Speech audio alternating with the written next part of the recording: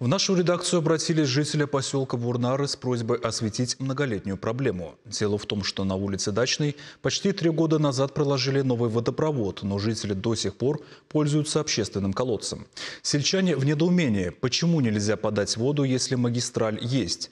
Между тем, на улице Дачной проживает около 20 человек. Они так давно там стали выдавать земли многодетным семьям. Вурнарский районный суд не единожды вставал на сторону людей, но исполнять его решения и подключать водопровод местная администрация не спешит. Почему? Ответ на этот вопрос искала моя коллега Вероника Павлова. Вот так приходится таскать на, на дне вода. И ладно, сейчас что, никто не таскал. А во- вообще она мутная. Кто успел, как говорится, тот и запасся водой из колодца. Сергей Ефимов чуть ли не каждый день приезжает к родителям. Пенсионерам самостоятельно ходить к общественному колодцу сложно. Правда, вода в нем, по словам жителей улицы Дачной, техническая. Приходится иногда пить эту воду. А выбора нет, хотя водопровод на улице Дачной был проложен давно. Лет 40 назад местное предприятие инициировало здесь строительство магистрали, чтобы обеспечить дачные участки, выдаваемые сотрудникам, водой. В 2019 году труба дала течь. Жители уведомили, что водопровод, пролегающий через территорию частной организации, намерены отключить. В 2021 году местная администрация таки построила новую магистраль в обход предприятия. И то только после вмешательства районной прокуратуры. Мы, естественно, обрадовались, думали, вот сейчас будем все, жить с водой. Но на этом дело все закончилось. И, по моему мнению, она, эта магистраль была положена без всяких технических документаций, без всяких технических планов.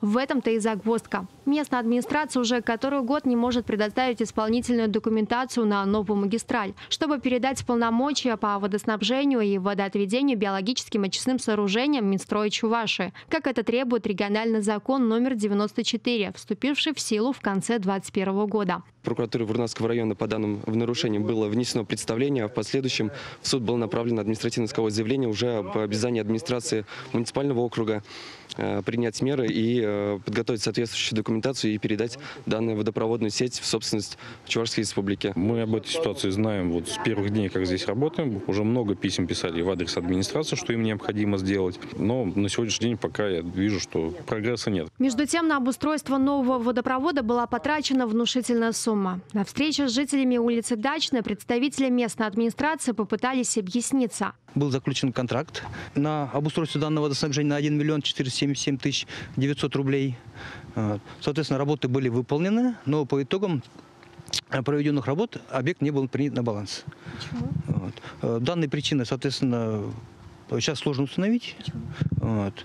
Э, Сотрудники данные уже не работают. Почему водопровод проложили, а технической документации нет? Вопрос интересный, но для жителей важнее другое, чтобы в их дома как можно скорее пришла вода. Руководство биологических очистных сооружений предложило местным властям вариант, который позволит ускорить передачу водопровода на баланс республики. Включить объект в реестр муниципальной собственности как движимое имущество. Если бурнарские чиновники наконец вплотную займутся решением этой проблемы, возможно, уже до конца этого года на улице Дачной наконец-то появится вода. Этого ждут и многодетные семьи, которым недавно начали выдавать здесь участки под строительство. Вероника Павлова, Дмитрий Макаров, Вести Чувашия.